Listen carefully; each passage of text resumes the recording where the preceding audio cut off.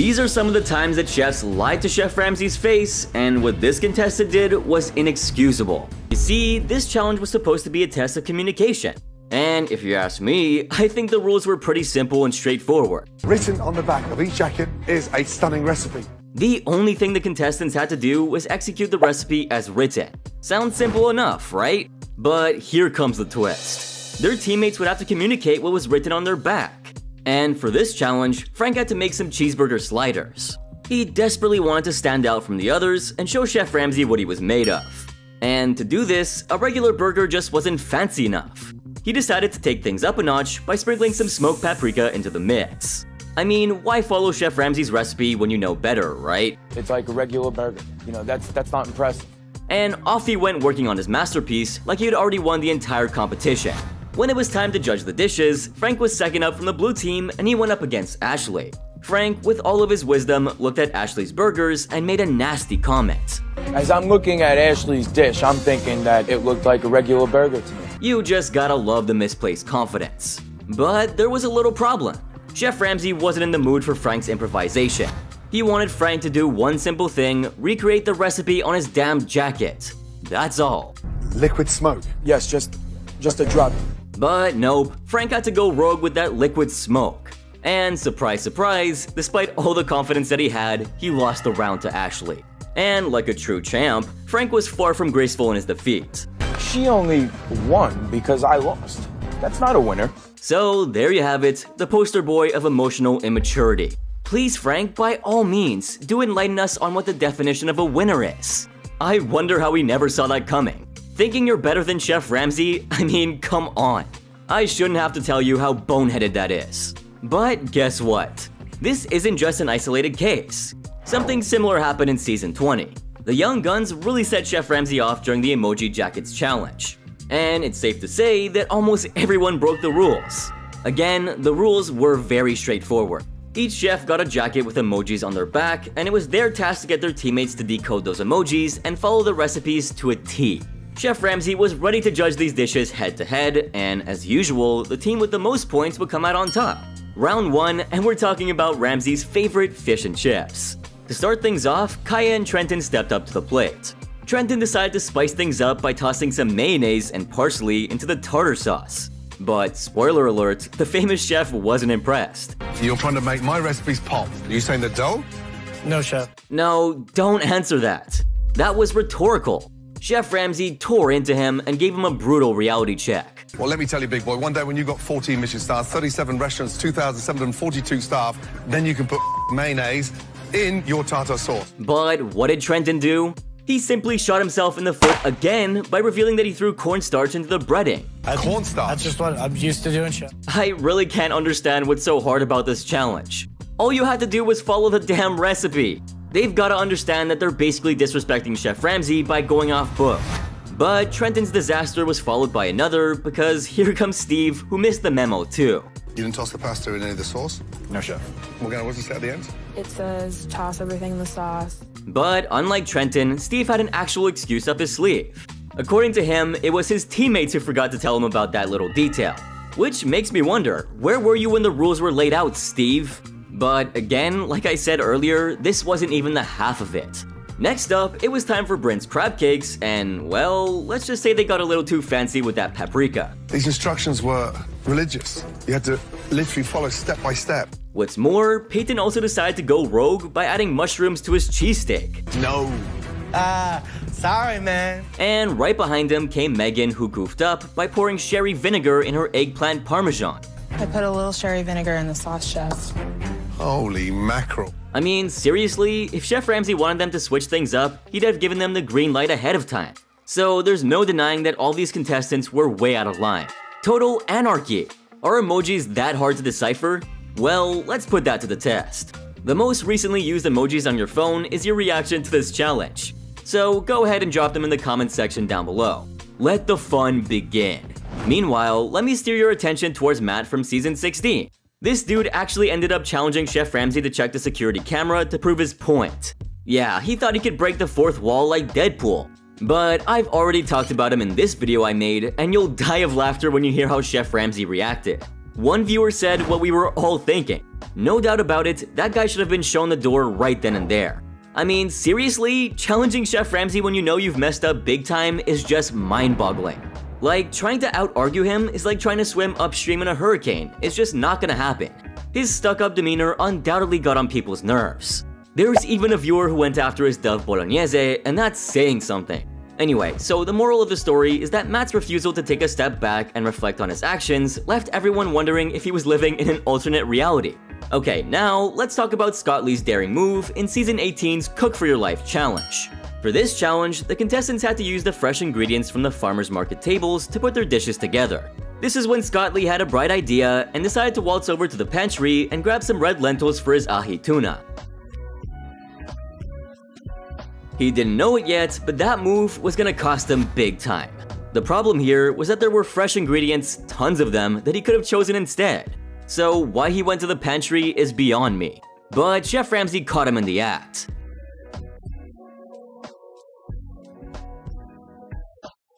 Come on, Scott Lee. Sometimes, just sometimes, please think inside the box. Here's the deal though. Scott Lee broke the rules in an elimination challenge, and yet somehow he managed to escape the chopping block. Any theories as to why? We've seen some really good chefs being shown the door for much less. Was Scott Lee really worth it? Let me know how and why you're on his side if you are, because I just don't understand the logic. But this reminds me of another screw up. Do you remember the season 14 Alaskan Fish Challenge? Adam and Millie had paired up for it, and the going got rough real fast. There you go. Check it out, put it together. The judges, Chef Ramsay and Michael Cimarusti, were in the hot seat, and Adam stepped up to present his masterpiece. It was a pan-seared halibut accompanied by some grilled baby bok choy and basmati rice. Alright, so let's start with the good. The judges were pretty pleased with the dish's flavor. That's pretty big, knowing all the disgusting messes that make it up to the judges' table on the show. But that didn't really save him from the hot water he'd find himself in. Millie dished up his halibut with cheese alongside some bell pepper rice, and the judges were immediately suspicious. Did you take some of Millie's rice? I'm sorry. They suspected Adam and Millie of sharing ingredients. But did they? Have rice to go for two? Um, I got that. Yeah. Ooh, it looks like they did. Turns out, as they got down to cooking, Adam hit a snag. His risotto was lagging behind schedule, and panic was setting in. Millie, being the good teammate that he was, willingly shared some of his own rice to save the day. But you have to give it to Adam. At least he didn't try to play it cool, he owned up to the whole ordeal. But the famous chef wasn't having any of it. You can't just borrow a part of the dish from your fellow contestant and call it your own. Chef Ramsay was so pissed that he gave Adam the dreaded disqualification. This was your dish. Absolutely. So no shared ingredients. You got to share. Not good. As a result, the pair took a hit in the challenge and the blue team ended up scoring a less than ideal 1 to 3. You see, no matter who, what, and where, cheating is a no-go, but there was this one user who had a wild take. Carlos over here thought that Adam shouldn't have fessed up, instead, he should have stuck to his guns and tried to get away with it. His idea was, what if two contestants accidentally use rice in their dishes? It could all just be a fluke, right? Basically, he believed that Adam could have skated right through the mess without getting disqualified. Now, personally, I don't really agree with that. I actually think it was pretty damn admirable of Adam to own up to his mistake. We've seen contestants try to get away with worse before. And sure, he could have lied his way out of it, but that would be unfair. The courage it took to come clean was a pretty standout moment. It showed us that he's a genuine person despite the pressure bearing down on him. Okay, now raise your hands if you remember Seth's filet fiasco. He molested that poor thing. Looks like he went with it with a jackhammer. So, our guy Seth was working on garnishes alongside Jay during the first seating of the steakhouse double service. Okay, let me give you some background about Seth's culinary expertise. He had never prepped a filet before, so he turned to Charlie for a helping hand. When Chef Ramsay asked the million dollar question, where's the filet, instead of a simple answer, he spotted Seth being all sneaky, shoving something into the fridge. Well, well, well, guess what he found there? It was a bunch of meat scraps from a butchered filet tenderloin, and let me tell you, it looked like a culinary crime scene. Chef Ramsay was so angry that he grabbed the tenderloin and sent it flying in Seth's direction. Wasting the most expensive part. What are you gonna do? Get Daddy to buy you a new one? Fast forward to the second seating, and Seth switched gears and became a waiter. But instead of working to benefit his team, he decided to bend some rules in order to sabotage the red team. He started bringing back steak orders, claiming that they were undercooked. They sabotaged us first, so now it's open game. However, the famous chef saw right through that act. Those steaks were cooked to perfection exactly as ordered.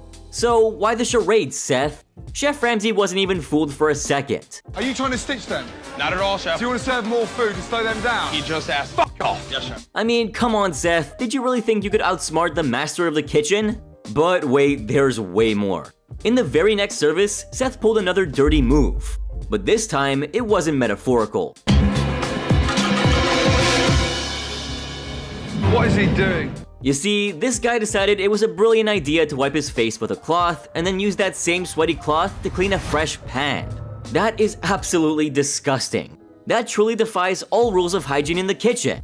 And just like this viewer said, I too think that he should have been eliminated right then and there for what he did. That's like taking contamination to the next level, and I'm sure nobody wants bodily fluids in their food, right? Anyway, here's some advice for you. If you ever eat at Seth's place, make sure you ask him how he seasons his food. If this one's for your fucking nose, where's your cooking cloth? Uh, I'll have to get one, chef. Come on, Seth, you're better than that.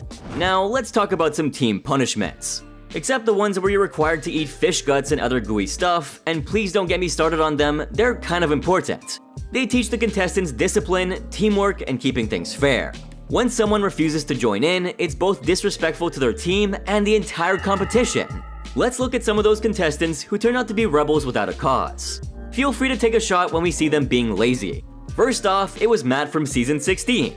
After losing the ostrich meat challenge, the blue team got slapped with an interesting punishment. They had to handle raw pine nuts, prep them for the upcoming pesto service, and deal with the goo and eggshells scattered around the dining room. But he was above all that. Acting like a petulant child, he was fed up with the whole competition and said that the judges didn't have a clue about what they were talking about. Yeah, the dude thought that he was better than everyone else. I don't want to sit here and listen to these guys degrading me and talking. It's just really starting to irk me. So, while the punishment was in full swing, Matt decided he'd rather kick back at the dorms than help the blue team. Aaron stumbled upon him, and Matt was boiling with rage. With bags ready to pack, he made a declaration. I don't give a when nobody says, I'm not doing it. When Aaron told him to suck it up and just do the punishment, Matt flat out refused. Packing my and I'm out this. I mean, what was he even thinking? Later on, sous chef Aaron summoned Matt to meet with the big boss himself in his office. Matt was adamant that the blue team wasn't getting a fair shake and that he had cooked his dishes just as they were asked. But the famous chef set the record straight.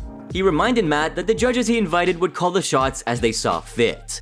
Chef Ramsay also made it clear that if Matt didn't want to compete anymore, he wouldn't stand in his way. If you feel that you can't compete and you feel that you aren't good enough to win this, I'm not going to force you to stay. Matt, suddenly having a change of heart, declared that he didn't want to quit. Given how he threatened to beat Chef Ramsay during his elimination confessional, how many of you think that Ramsay should have just let him go earlier?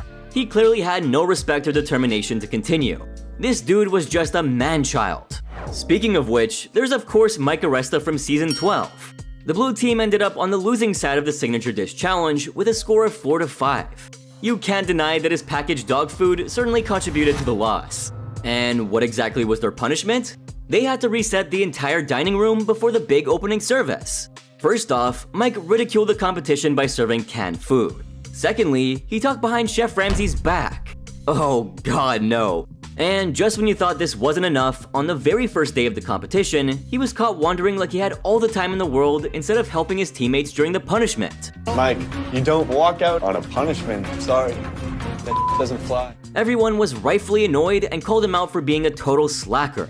I mean, why bother showing up to Hell's Kitchen if you weren't willing to be a team player, right? But hold on, cause things are about to get even better. Mike got tired after doing the back-breaking work of standing, and so, without a care in the world, he strolled right out of the punishment and headed to the dorms to eat some oranges. Speaking of breaking rules, how could I not mention Lacey from season 5? I'm convinced that she came to Hell's Kitchen on some sort of whim. She didn't care about the competition, was lousy, and constantly abandoned her team during the punishments. You really want to start something with me? I'm not really afraid of it. What a great teammate, right? Not gonna lie, her constant whining and threats to quit really got on my nerves. But guess what? Joseph wasn't the only contestant who rubbed Chef Ramsay the wrong way. This douchebag thought that he had it in him to threaten Ramsay with a physical fight. I was on the street right now, and he came up to me with that same. I him up, point blank. Now, those of you who have watched the season already know how big of an asshole he is on the show, but surprise, surprise, he's no better in real life. He found himself in a heated argument with another contestant from season 15. He made some racist comments toward Hassan, and if you already weren't a fan of Matt, this clash would make you downright despise him. Like, look at the filthy, disgusting things that he said. Well, of course Hassan called him out on it, but so did several other viewers. I totally agree with this user, Matt's sour attitude did get the best of him. It's crazy how he got to stay longer than Hassan on the show with that kind of foul mouth running about. The way he was targeting Hassan much after the show is absolutely inexcusable. This dude certainly has some questionable ideas, and it's quite rightly left several people wondering how he functions. But this isn't anything new. In the very first episode, he made it clear that he was a rude narcissist who was far from a team player. First up, he locked horns with Gennaro over the scallops. Matt believed that they were still undercooked, but when he sent them to Ramsay anyway, they were indeed raw. Ramsay, in his usual no-nonsense style, demanded to know who was responsible for ruining one of his favorite foods. He even threatened to kick both Matt and Andrew out if they didn't own up to it. Matt decided to point the finger at Andrew, claiming that he was pressured into serving them undercooked like that. And just for quote-unquote good measure, he even suggested they review the surveillance footage to prove it. Chef Ramsay, though, wasn't putting up with this nonsense. Camera.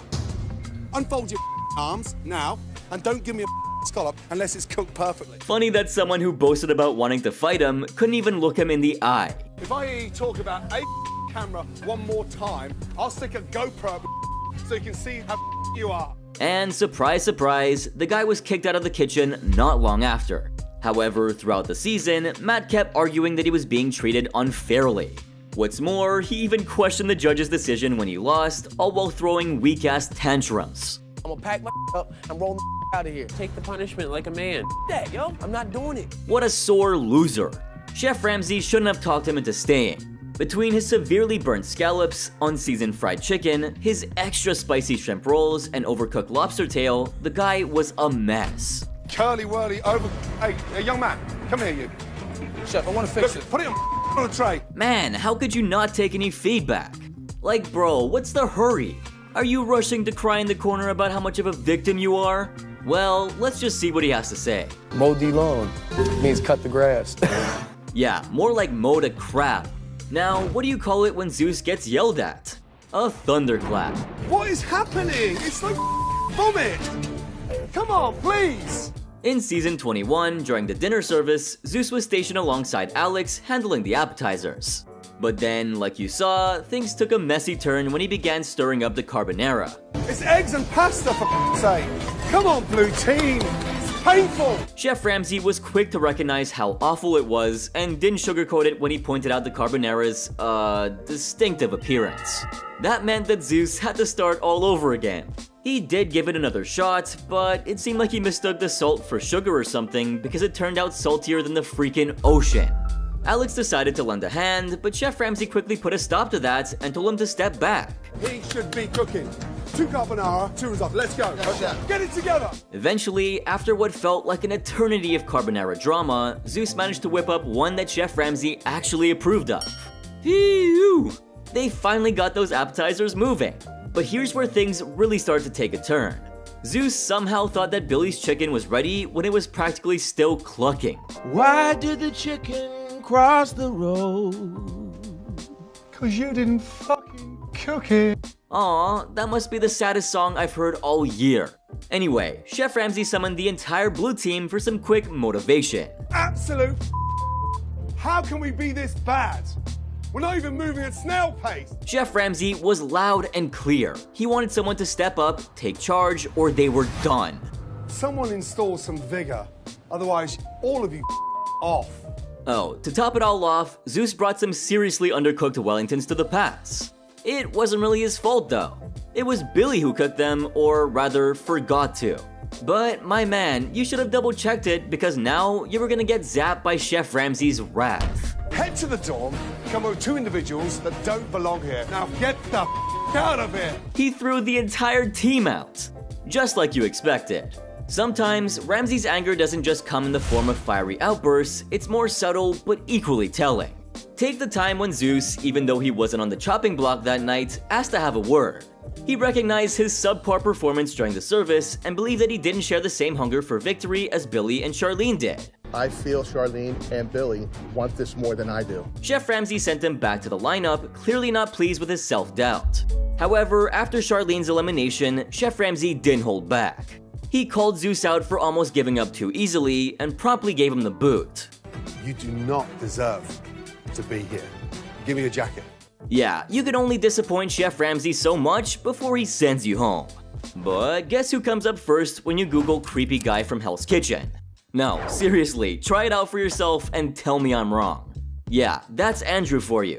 Sous Chef Scott reminded Andrew that the garnishes had to be ready before the proteins, so he went turbo mode and asked Jay to send the mashed potatoes to the pass. He then started rushing through the rest of his garnishes. Stay cold. Stay there. What the fuck are you doing? Go away. Go away. Go away. Go away. Go away. But when the mashed potatoes got sent back for being way too runny, he took matters into his own hands and started mixing them with a fresh batch he was making. Now, this move obviously didn't sit well with Chef Ramsay, who wasn't thrilled at all. You put the thick stuff in, you add the runny to it. That was a brilliant idea, chef. But to make things worse, Andrew decided to ask Chef Ramsay why it was such a big deal. Now, you see, there are some unwritten rules in HK that contestants should be aware of. Rule number one, do not question Chef Ramsay. Rule number two, don't talk back to him. And rule number three, do not question Chef Ramsay. Andrew just broke all those rules and decided to challenge Chef Ramsay's wisdom, saying that it was a brilliant idea. The famous chef tried to explain why it was a no-go, but Andrew wasn't having any of it. It's gone. That's not true. Here's a guy who didn't get a single thing right, lacked care, showed no respect, and on top of everything, he kept arguing with, to quote Jason, the Jay-Z of fucking restaurants. He's like the Jay-Z of fucking restaurants. You don't talk back to a man like that. Chef Ramsay had had enough, and he made it crystal clear that he was on the verge of losing his temper. But despite the warning signs flashing neon, Andrew just wouldn't let up. And so, Chef Ramsay just showed him the door right into the dining room. And you know what? You're a fucking joke to the industry. Yeah. Shaken by that comment, he was ready to hit the road. Yeah, he was about to leave the competition. I'm walking out the damn door. What does it look like I'm doing? That man asked me to leave, and you expect me to stay here. Guess who didn't do his homework and watch previous seasons before coming to the show? Jean-Philippe, though, attempted to talk some sense into him, suggesting that Chef Ramsay was just giving him a test and there were folks out there who'd kill to be in his shoes. And you won't believe what he did next. This arguably was the most bizarre moment in the history of the show. You know what? They I mean, take my shoes, Jake. Poor JP, he looks so damn uncomfortable. And what the heck was that? Season 7 was messed up right from the start. It had so many mid-service ejections, like the one in the very first episode. Meanwhile, Fran was holding down the fort at the appetizer station with Holly by her side.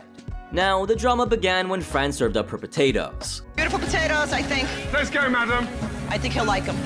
Oh, the misplaced confidence. They were criticized for being overcooked, pint-sized, and this. And that one there, well, I can't, I can't even describe that one there. Come on, ladies. He then asked Fran for the time on some new potatoes. And what was the response? Well, crickets. She stayed quiet until Holly had to repeat the question, and finally, Fran shouted out, two minutes. Chef Ramsay had had enough, and he decided to give Fran a quick tutorial on how to properly toss those potatoes. But then, Chef Ramsay was bewildered when she revealed that she was scared of the grease. Or was she? She's scared of the oil. What did you say? No, no, I'm scared of you, Chef. The famous chef wasn't having any of that attitude. It was a clear reflection of her lacking self-assurance, and the famous chef couldn't help but take a dig. I'm afraid of you, Fran. Yeah, you scare me. As the hectic dinner service raged on, Fran found herself knee-deep in a lobster risotto mishap. She diligently worked on her dish, pouring her heart and soul into every stir of that pot. But here's the twist. She unknowingly tossed a crab into the mix instead of the cherished lobster. The moment Chef Ramsay's eagle eye caught this, oh boy, you have to see what happened next. Someone explain to Fran what the fuck a lobster looks like. But she was just tired of getting yelled at. Yeah, I made a mistake, but give me a break. Now pay attention to what I'm about to say here. Tired of being yelled at, but not tired of making mistakes because she continued on with her streak.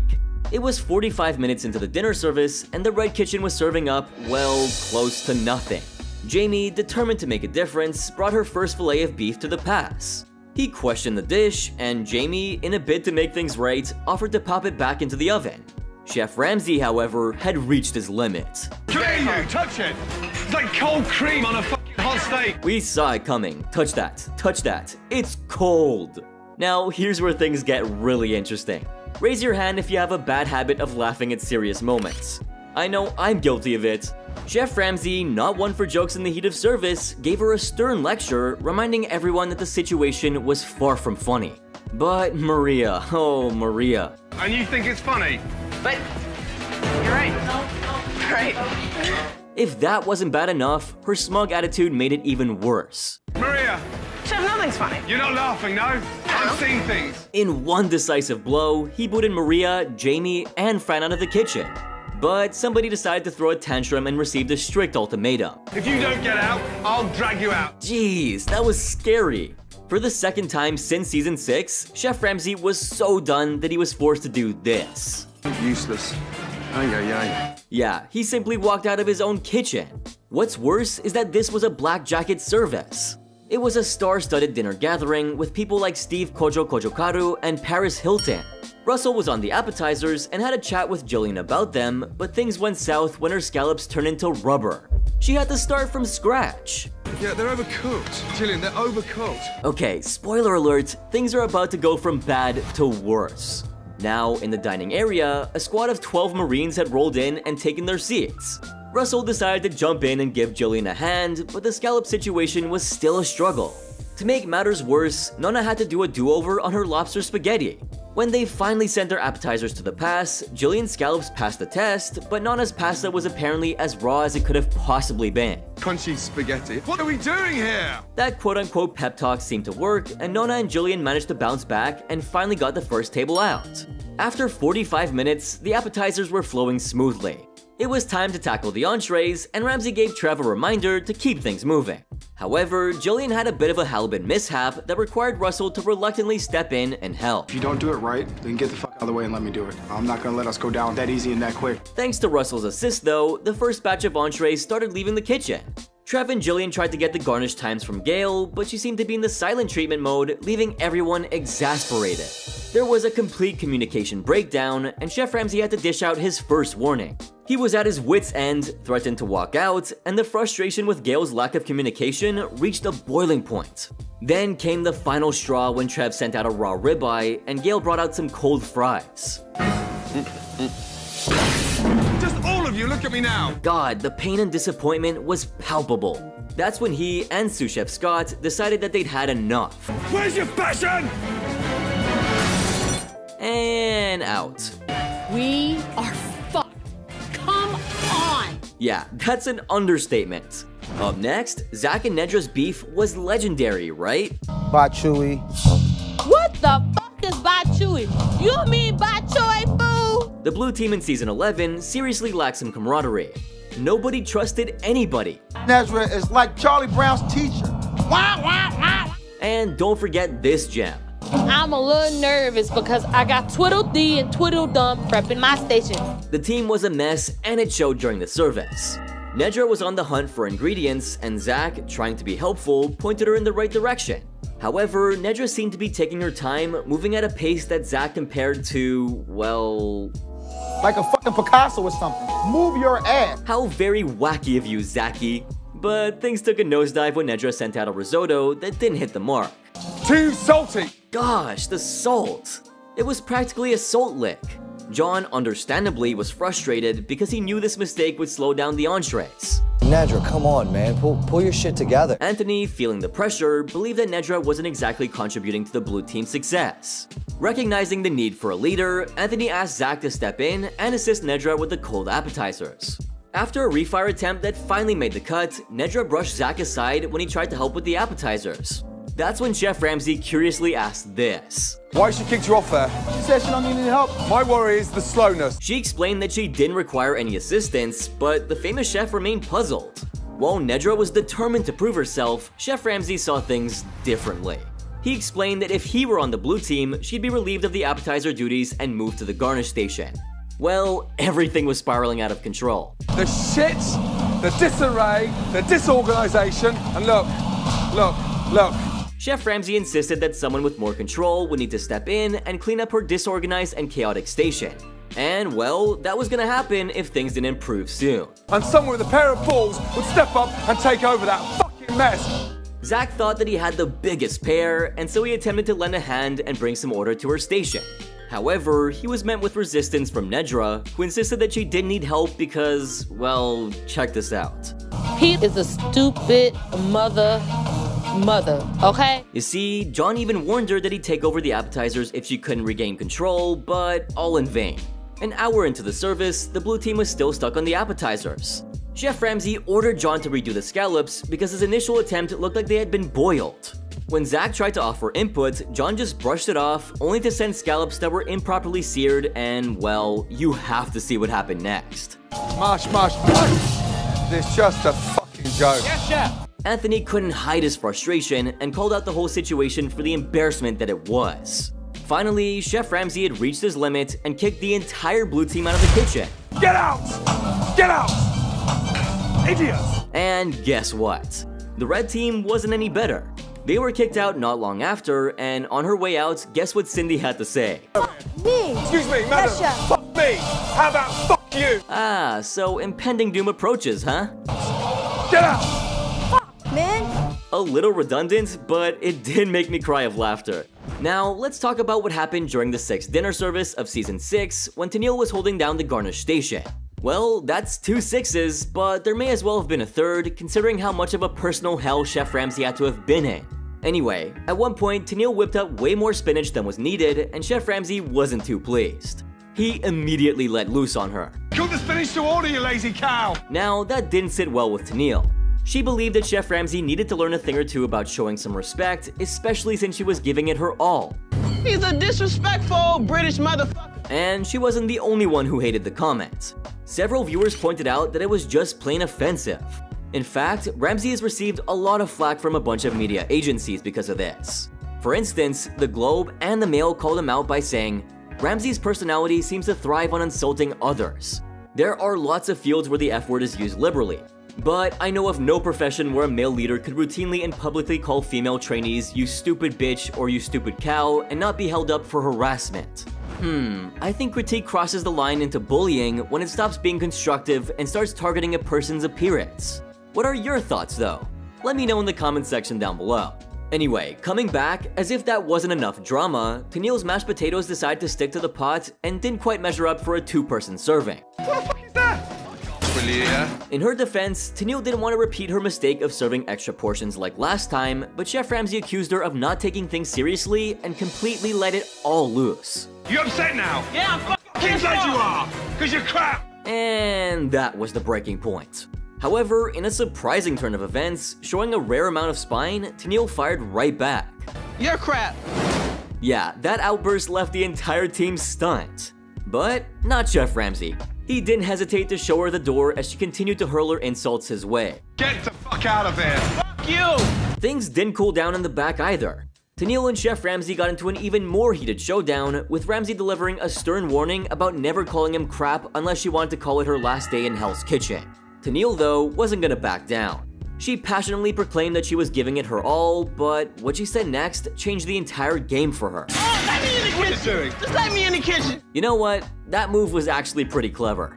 It was direct, sharply precise, and something that made Chef Ramsay realize that there was still a heap of passion and determination left in her. He must have seen something really special in her because, honestly, he's given the boot to a ton of contestants for much less. Over on Reddit, a user asked if Jen's meltdown topped Tennille's, and for most, it was a resounding yes.